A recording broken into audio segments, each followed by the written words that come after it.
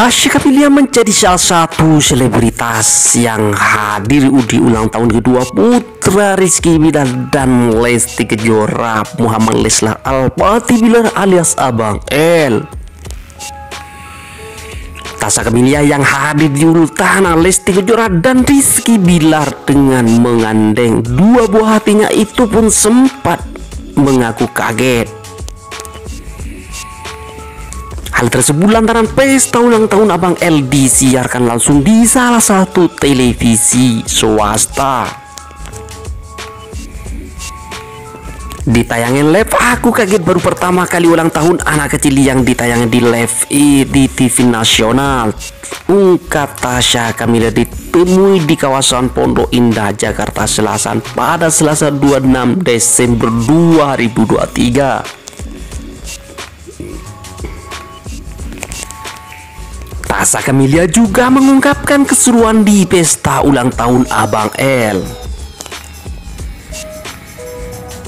Banyak mainannya, terus senang lihat ada eh, yang menyanyi juga tutup Tasa Kamilia.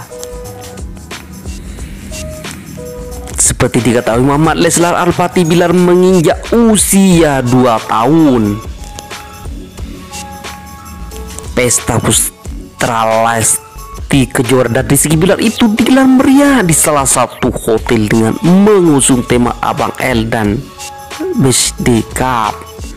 Jika kalian suka dengan video ini silahkan di like, comment, and subscribe dan di share ke berbagai media sosial lainnya.